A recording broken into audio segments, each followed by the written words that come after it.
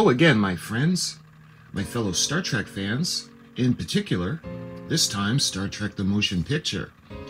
And my fellow subscribers, I'd like to do a little continuation on the special 3,000 subscriber build series that we're doing.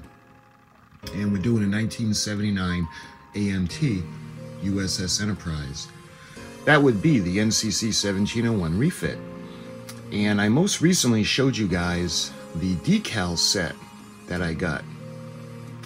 And what I want to show you today are some little more goodies that we're going to be adding to the ship.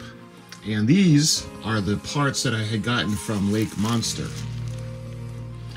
So, without further ado, why don't we take it over to the desk where there'll be more light and I can show you guys all the little goodies that we're going to add to the Spaceship Enterprise.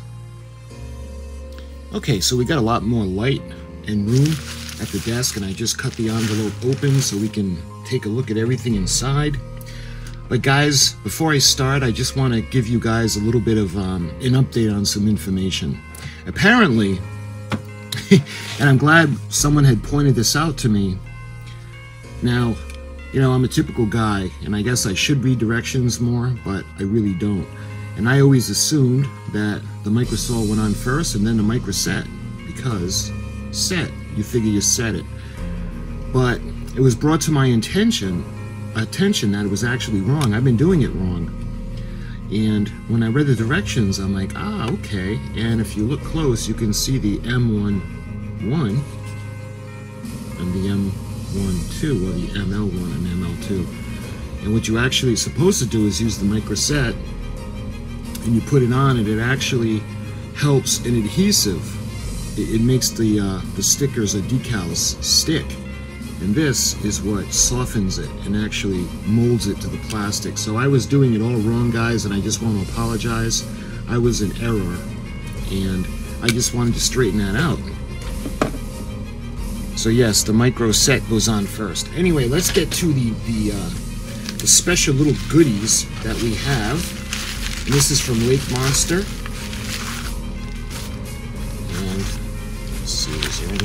In the package? Nope.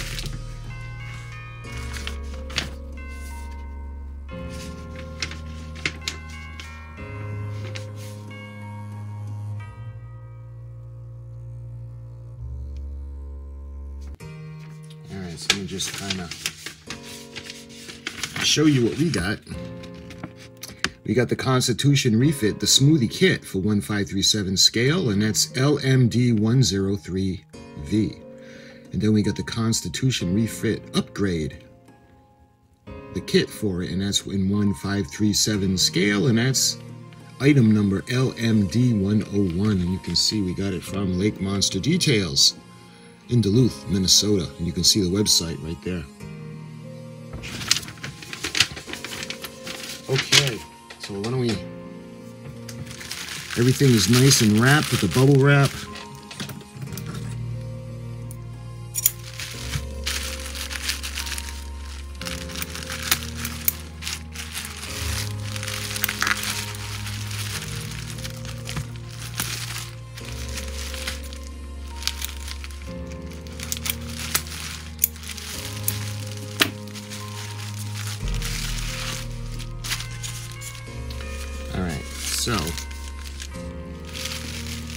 Looks like that's everything.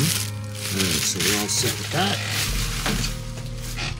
All right, it's uh, got a rubber band on it, and it's actually rubber band to a piece of cardboard.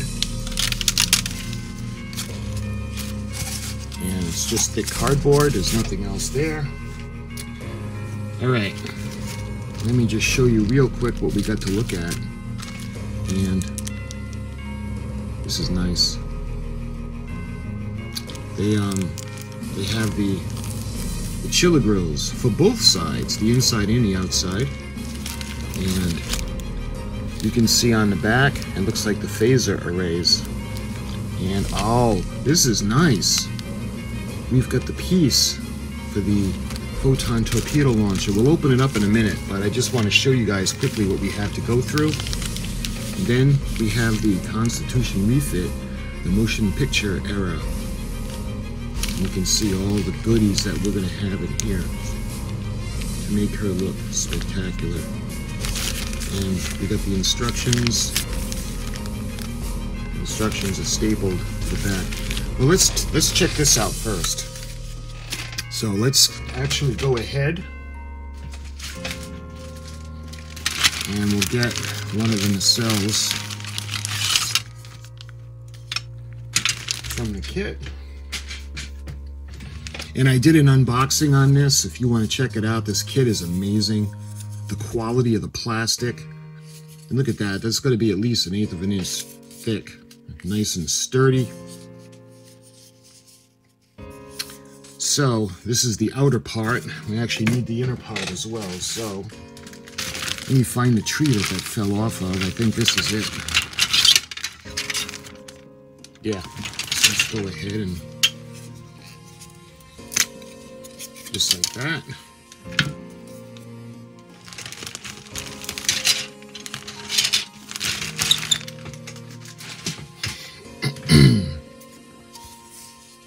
so this is the outer part and we have the inner part. So let me go ahead and place it together. You can see how it's going to fit together really well. The little pegs are going to go into the holes. And again, if you guys can't afford the 1 350 scale model kit, which is an amazing kit, this is still a really large kit. In 1537 scale, it's, it's larger than you may think it is. Okay, we got the, the nacelle, so why don't we go ahead and we're actually going to open up the package. I want to do it where we won't uh, rip anything.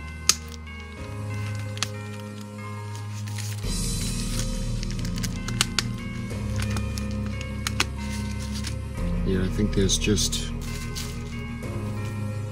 a couple of um, staples.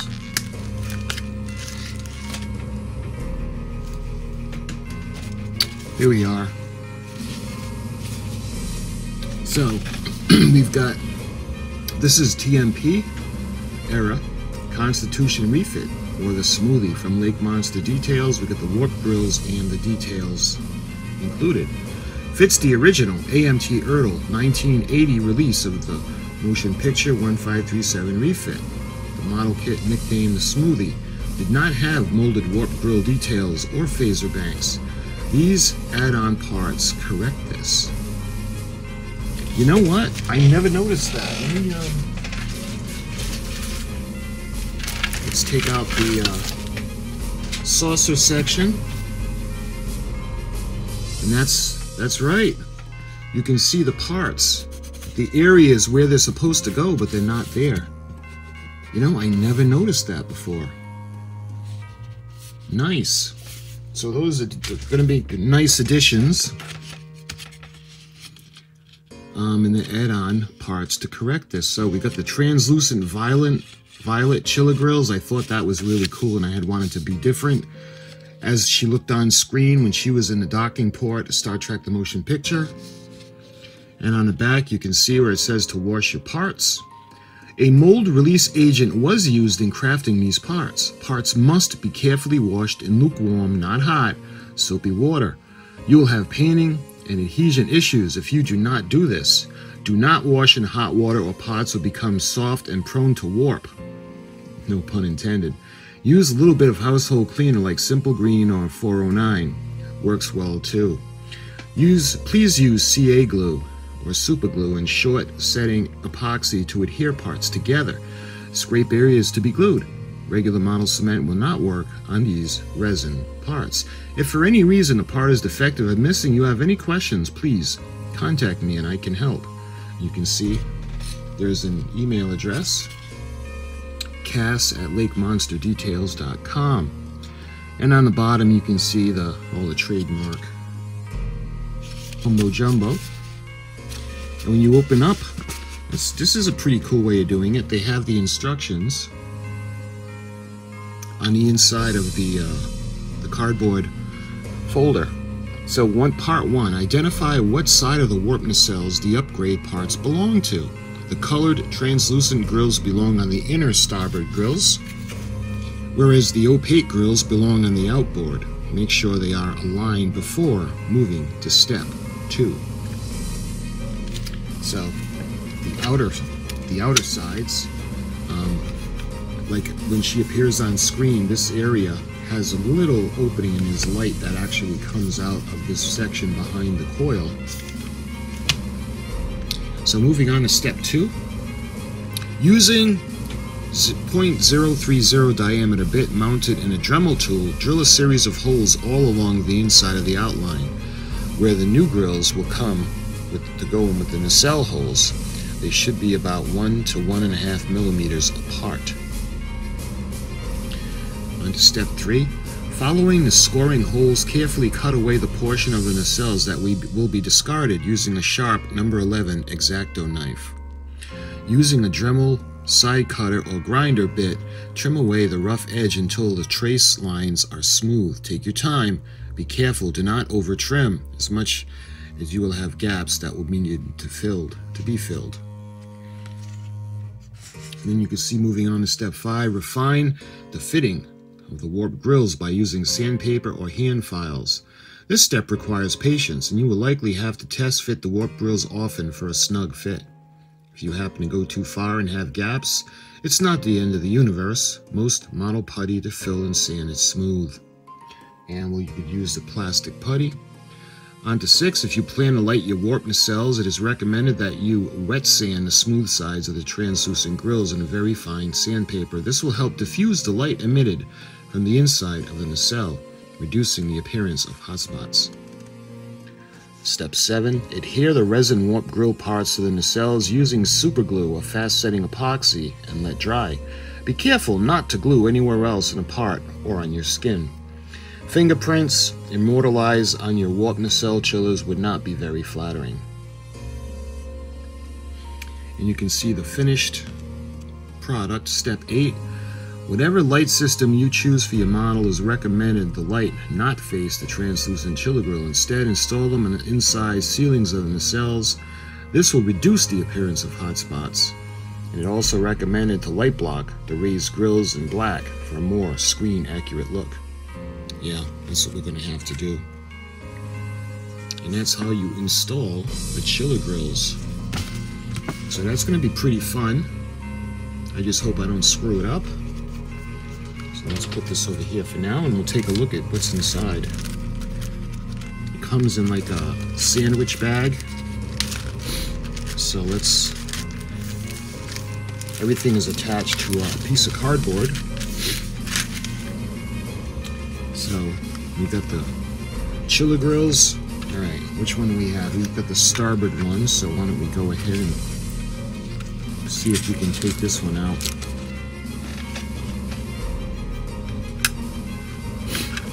Can see how it's going to fit in.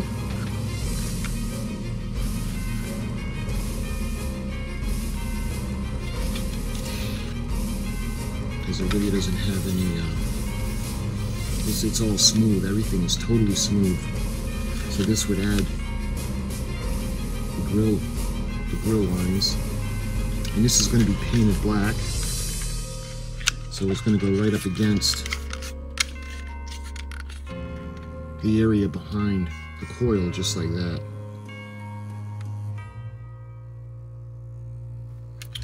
So we also have to do the the um, the one on the inside. And let's see, that one would be this one. So let's check this out.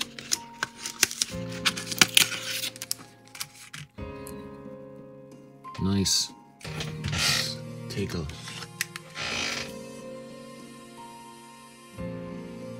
It's funny because on camera it looks like it's blue. See how it has that blue look? So we'll have to be careful when we light. Like they said, we'll do it from the side. Maybe the tops and the bottoms, but I don't know if we use bulbs or a strip, but anyway, we'll get it to light nicely. It's going to look really good, and this is going to go just like this.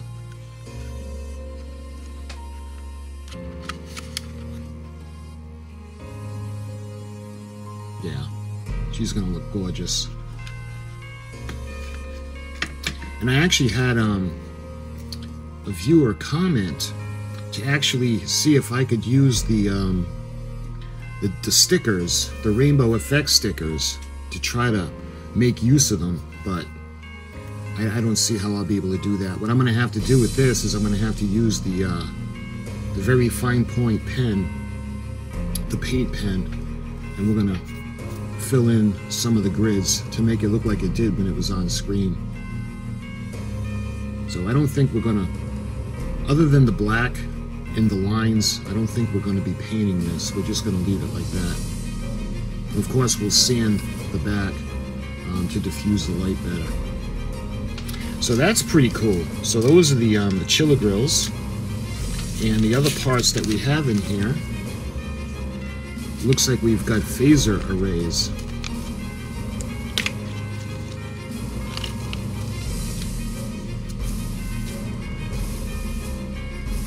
Nice.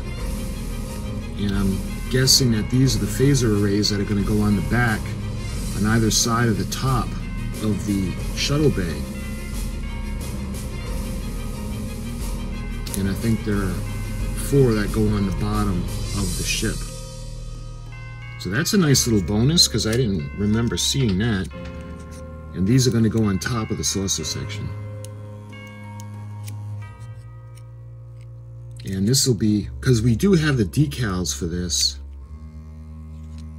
but these are going to be super easy to paint to make it look as best as possible. And I like this because in this section I didn't realize we also got this. So what we'll do is we'll paint it black and then a little bit of the um, I wanted to say blue but I think that's the Enterprise A.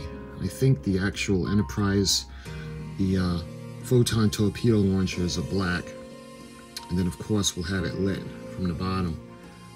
This ends up being nice because I was thinking about putting bulbs in the smaller piece that came with the kit, but this is more accurate. So that's that's a nice touch. So that's everything that's in this kit. And this is the Constitution Refit Smoothie Warp Grills and Detail Set. At this one. And again, we're going to take off the uh, there are two staples that we need to remove on this side.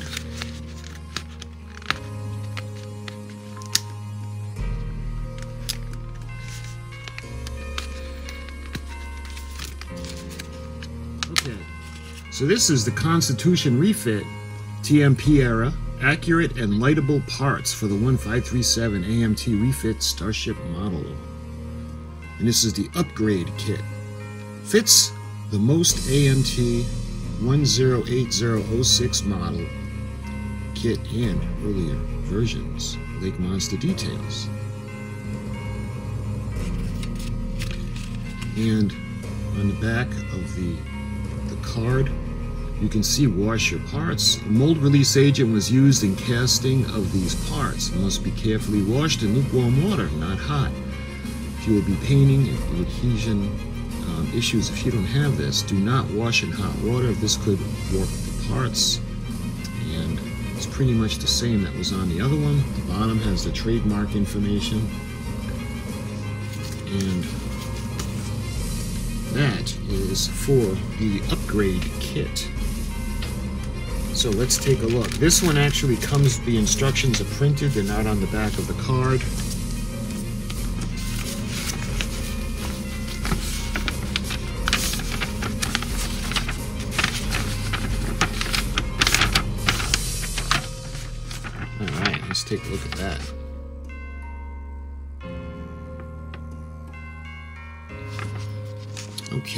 Constitution Refit Upgrade Parts Instructions.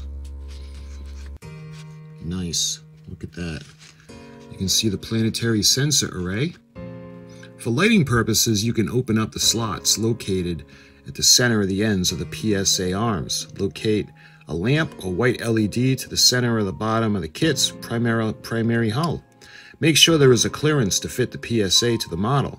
Mount the PSA in place like the kit provided part. So we won't be using the kit, we won't be using that. And then you can see the dorsal extension, that's a nice touch. After connecting the primary hull, connecting dorsal glue the resin wedge extension to the front, putty the joint and sand smooth. Nice. And then looks like we go to the recreation room windows.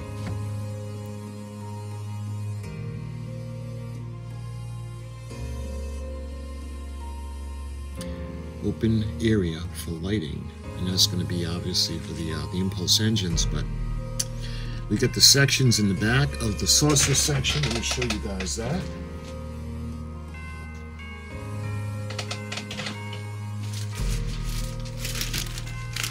Because for some reason I thought that there was nothing there. But I must be thinking of, yeah, just where the windows go. So we're going to have to open up the sections on either side. See where the, uh, in the areas we're going to open up for the lighting of the impulse engines. And you can see the pieces that are going to go into the place center to the grid line. So that's that's good to know. So we got the grid line coming up on either side, so we'll center them just like that. Then you can see we got for the back.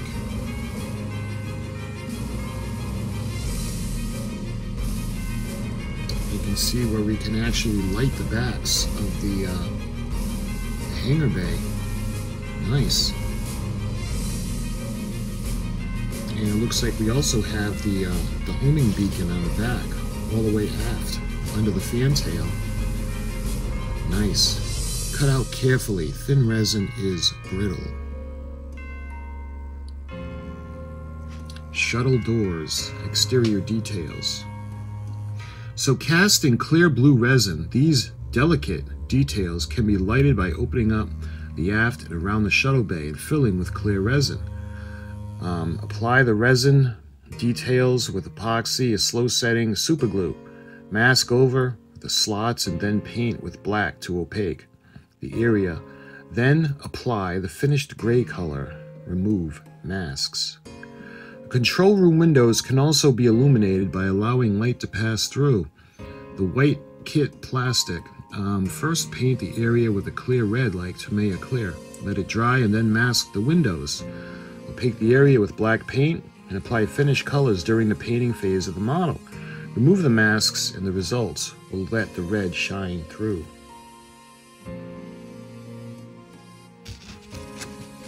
Okay, now we move on. We got the deflector dish. Use a razor saw to remove the resin sprue foot. Cut as close to the bottom edge as you can. Sand flat with a sanding pad. You can see the, uh, this is a good touch. Fiber optic spacing.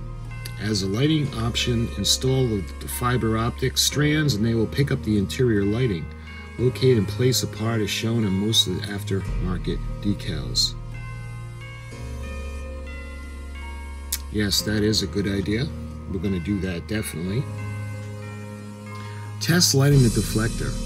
The ring dashed lights should be masked with small slips, uh, small strips masking tape. Cut a mask to fit the deflector dish, then opaque the parts. The exterior fat black flat black, excuse me, then apply regular finish colors and mask when done painting. In lighting the bridge, you can see the fiber optic strobe and the white LED. Lighting the bridge, clear plastic from, uh, from discarded CD, cassette cover boxes picks up a light from a lamp, a white LED mounted just outside the upper deck fiber optic run to a flashing LED can be mounted by drilling a hole through the resin piece. Run the fiber optic remote white LED and drill partially into the LED and superglue it in place. This kit includes one accurate command bridge module, one accurate lower planetary sensor dome, one accurate and lightable torpedo launcher, one dorsal extension, two accurate nacelle space matter sinks Bussards, two magnetomic warp amplification crystals, or blue domes. We've got six phaser emitters. We got one homing beacon array, one shuttle bay exterior detail for both sides, eight accurate primary hull portholes, including the rec room, one lightable deflector dish, one deflector dish housing, and one LED reflector cup. All right, let's take a look at what's in here. Nice. Let's get it open and get all the pieces out.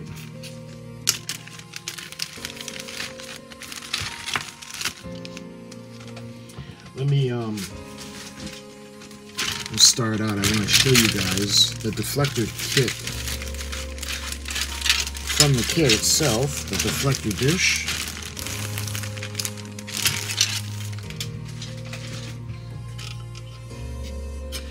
So this is the deflector dish.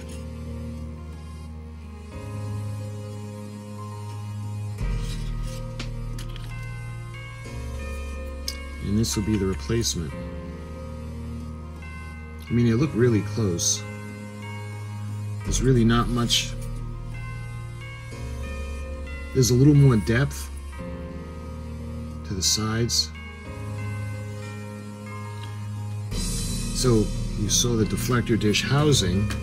Let's take a look at the actual lens of the deflector dish.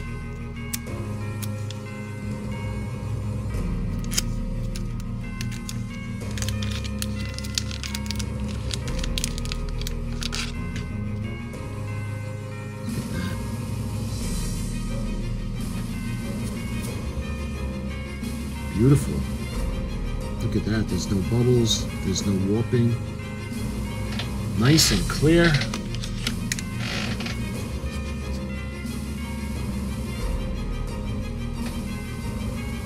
I like how the light diffuses.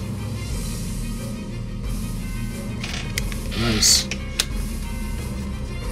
And let's see if this is going to fit, just fit right in. Oh, evidently, yep. It's going to just fit right in and it's going to look like that.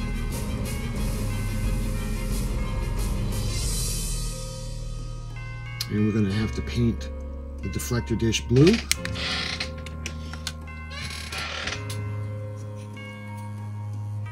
Or we may keep it yellow. We'll see. We'll see as we go on. Anyway, that's a deflector dish housing and a deflector dish itself. Okay, so this is the, this is to actually go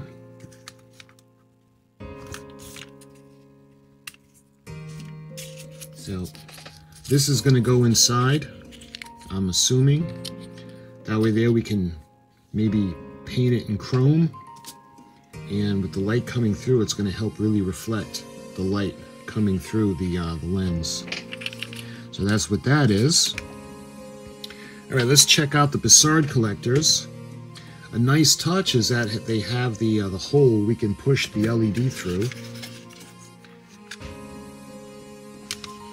And look at that, guys. With hardly any modification at all, I was able to just put it right in. Talk about a great fit. We still might have to fill in a bit, but I mean, this is just putting it in cold. There's no alterations or anything, no removing of any flash on the model. So I think that's going to fit nicely. Let me show you guys the uh, the Bussard collectors that actually come with the kit. And again, uh, they're not smooth. They do have the, the ridge lines, but there's a little bit of flash. And if you compare it, yeah, this looks really good. More screen accurate. And we can put the uh, blue lights coming out the top. So that's going to be really nice. Love it. And as you can see, they fit just cold, just placing it right in. They fit really, really well. All right, what else we got? Looks like we got the bridge. You can see the, uh, the docking port that's on the back. And what they were talking about, the uh, running a fiber optic up to the top. And using the, the plastic actually diffuse the light coming from the bottom because the bridge is not lit up. And this is the bridge from 1979 with B deck. B and C deck actually. You can see the lines are raised on this one better and there's there was separate parts for the back. You could see the um that's where the docking port would be. And on the back it's already on there. And it looks like is that uh yeah, it'd be lightable.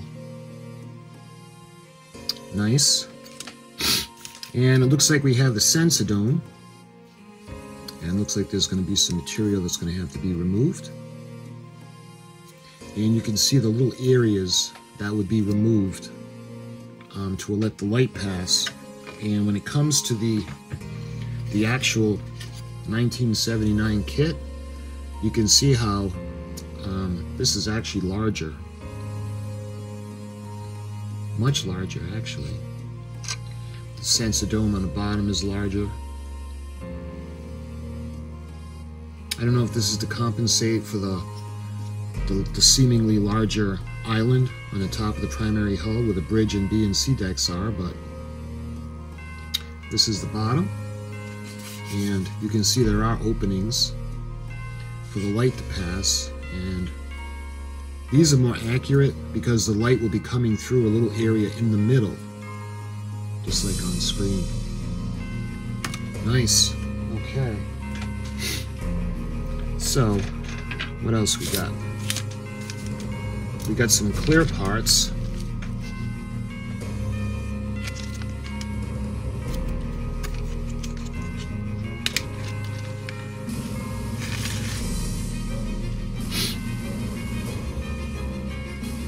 So these,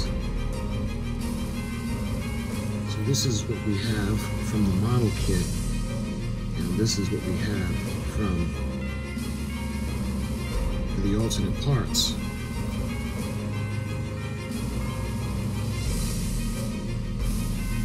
So that's a nice touch.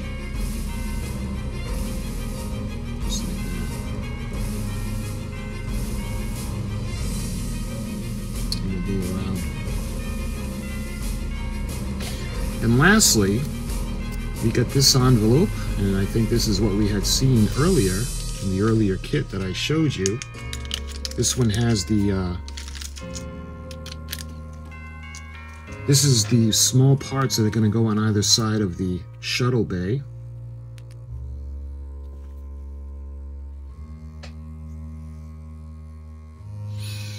That might be a little, uh, little tricky. Let me show you guys how they're going to go. Well, the areas that they're going to go is they're going to go right in over there. Right along the outer edge. So we're going to have to be really careful to get that. Because you know this kit is from 1979 so I'm sure it's going to be really brittle. So that's for the shuttle bay and we have more of the phasers that I had shown you the two that are going to go on the back let me actually show you there's going to be one on either side, up top, and there's going to be four that are going to be on the bottom.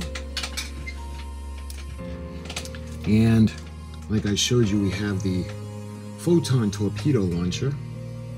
It's nice, nice to have an extra one of those. And what are these? Nice, look at, they actually give you the light. Or the, the bulb the lens that's going to go in um, for the blue. Where that way there, we wouldn't have to run additional LEDs to the top. because we could run LED blue, LED blue LEDs, excuse me, to the top, or we can just put the lenses in and keep the light from the bottom. I'm not sure yet how we're going to do the, the plan. And this, this part that looks very easily lost, this is actually for the, uh, the nacelle pylon. Uh, excuse me, the saucer pylon. And this will go in the bottom of the ship. It's actually going to go right here. Just get it into position. And what it does is it picks up where the model leaves off to give it that finished um, screen accurate look.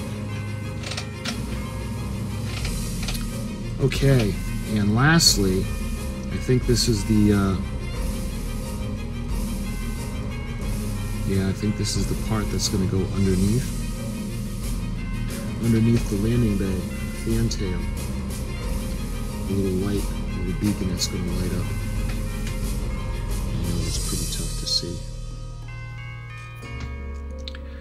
And that's everything in the two kits that I got to make this extra special model build as special as possible. So my friends, I thank you for watching. And this build, this is the special 3000 subscriber build. My thank you for all my new friends for watching. And I hope you enjoy watching my videos as much as I enjoy making them because I really do love making videos. As usual, thank you so much for watching. Thank you for the kind words. And until the next video, I'll talk to you soon.